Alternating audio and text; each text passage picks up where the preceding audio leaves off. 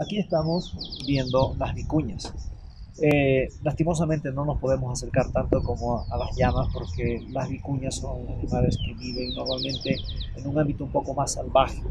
Es un animal muy arisco, es un animal que no es fácil domesticarlo, pero eh, la lana que, que contienen las vicuñas realmente es la mejor lana de los camellos. Es una lana muy fina, tiene una eh, es muy hipoalérgica, por ejemplo, y normalmente, eh, ojo con este dato, ustedes no van a encontrar eh, una prenda de vestir de alpaca, perdón, de vicuña que sea de color rojo, por ejemplo.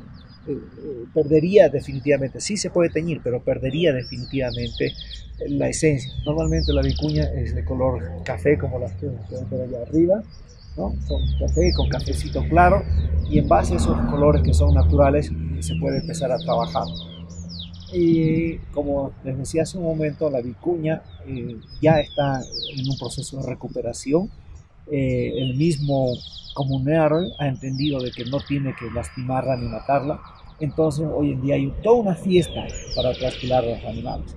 Una fiesta donde se los va encerrando ¿no? y luego ellos con las protecciones adecuadas los logran dominar hacen la trasquilación normal sin lastimar al animal y luego lo sueltan para que ellos puedan vivir y como, como hacían antiguamente de, matarlo al animal.